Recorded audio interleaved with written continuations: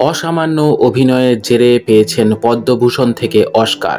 তবুও বাংলায় খ্যাতিহারা ভিক্টর ব্যানার্জি। বাংলা সিনেমা জগতের অন্যতম শ্রেষ্ঠ সম্পদ হলেন অভিনেতা ভিক্টর ব্যানার্জি।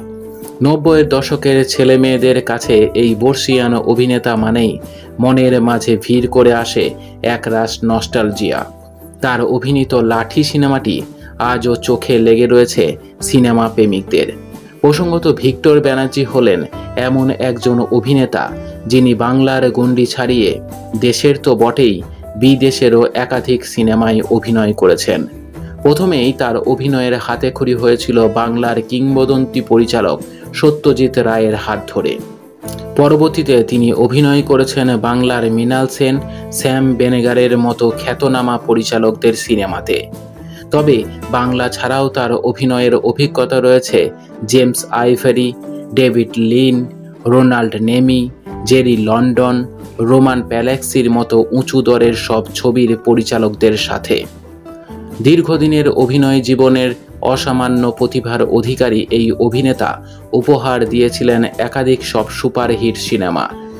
তবে তার অভিনীত ডেভিড লিন পরিচালিত এ প্যাসেজ টু ইন্ডিয়া ছবিটি উনিশশো পঁচাশি সালে মুক্তি পাওয়ার পর তা মোট এগারোটি বিভাগে অস্কারের জন্য মনোনয়ন পায়।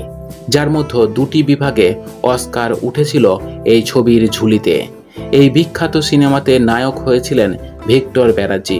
শুধু তাই নয় বাংলা সিনেমার জাদুকর সত্যজিৎ রায়ের জনপ্রিয় সিনেমা ঘরে বাইরের জন্য সেরা সহ অভিনেতার জাতীয় পুরস্কারও পেয়েছিলেন তিনি। সব মিলিয়ে সুনিপুণ অভিনয় গুণেই নিজের সমসাময়িক অভিনেতাদের থেকে আলাদা হয়ে উঠেছিলেন ভিক্টর ব্যানার্জি। তার এই অভিনয়ের দীর্ঘদিন ধরে সমৃদ্ধ হয়ে চলেছে ভারতীয় সিনেমা। তবে কলকাতায় জন্মগ্রহণ করলেও একসময় অভিনেতা ছোটবেলা কেটেছিল আসামে।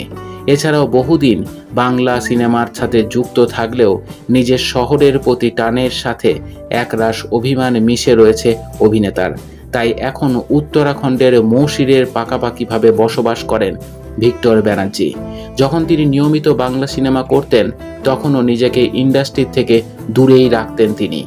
আর এখন তো সেভাবে বাংলা সিনেমায় তাকে দেখাও যায় না।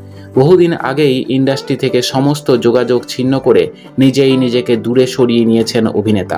তাকে শেষবার দেখা গিয়েছে চলতি বছরে মুক্তিপ্রাপ্ত সিনেমা আকরিকে। তথাগত ভট্টাচার্য পরিচালিত এই সিনেমার হাত ধরেই বহু বছর পর কাম ব্যাক করেছিলেন অভিনেতা। এরই মধ্যে শোনা যাচ্ছে, খুব তাড়াতাড়ি শিবপ্রসাদ নন্দিতার জুটির আসন্ন সিনেমায় প্রথমবার অভিনয় করবেন ভিক্টর ব্যানার্জি।